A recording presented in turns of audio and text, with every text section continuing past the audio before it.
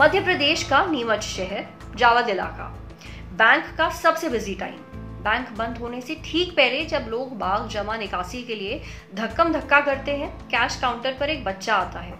दस साल के बच्चे पर कोई ध्यान नहीं देता। वो इतना छोटा है कि काउंटर के ठीक नीचे छुप जाता है। ठीक उस समय आता है जब कैशियर किसी काम से मिनट भर के लिए अपनी कुर्सी से उठता है। बच्चे के लिए इतना टाइम काफ़ी था।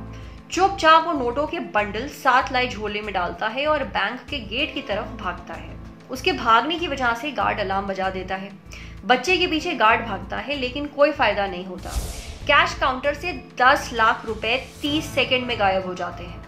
पुलिस आती है, सीसीटीवी खंगालती है। पता चलता है कि बच्चा किसी और आदमी के इशारे पर काम कर रहा था। अब जानते हैं कि क्या है ये पूरा मामला? पुलिस को हैरानी इस बात से हुई कि रुपए चोरी की भनक ना तो बैंक के स्टाफ को लगी और ना ही वहाँ मौजूद अन्य लोगों को। बैंक में लगे सीसीटीवी कैमरे से चोरी का खुलासा हुआ।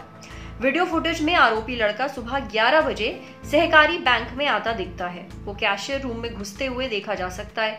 इस दौरान काउंटर के सामने खड़े ग्राहकों को उसकी खबर नहीं लगती। लड़का शातराना अंदाज में तेज़ी से नोटों की गड्डी को एक थैले में गिराता है और फ़ौरन बाहर निकल जाता है। ये सब करने में उसे महज 30 सेकंड से भी कम समय लगता है। बैंक से चोरी कर भर आने के बाद बच्चा दौड़ लगाने लगता है तो बैंक का अलार्म बज उठता है।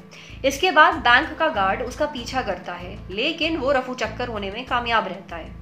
बैंक पहुँची पुलिस को पता चला कि आरोपी बच्चे को कोई युवक निर्देश दे रहा था। युवक पहले से बैंक के अंदर मौजूद था।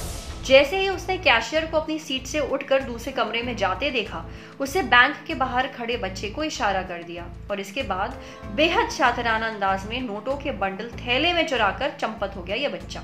पुलिस क्या कहती है? देखिए, पुलिस अध्यक्ष मनोज राय ने कहा है कि आरोपी बच्चा छोटा था, इसलिए कैश काउंटर के आगे खड़े लोग उसे पैसा चुराते हुए नहीं देख सके। पुलिस ने तफ्तीश में कई संदिग्ध लोगों को हिरासत में लिया है। साथ ही, इलाके में सड़क किनारे दुकान और स्टॉल लगाने वाले कुछ लोगों को पूछताछ के लिए भी बुलाया गया है।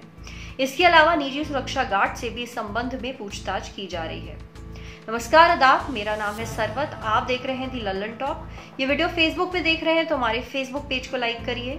यूट्यूब पे देख रहे हैं तो हमारे चैनल को सब्सक्राइब करिए।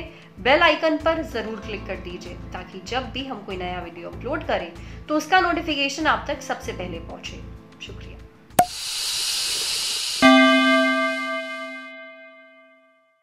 कविता कहानी के डेली डोज के लिए इंस्टाग्राम पर फॉलो करें हमारा हैंडल लटक डॉट ललन टॉप अब सुकून के लिए भटक मत, लटक।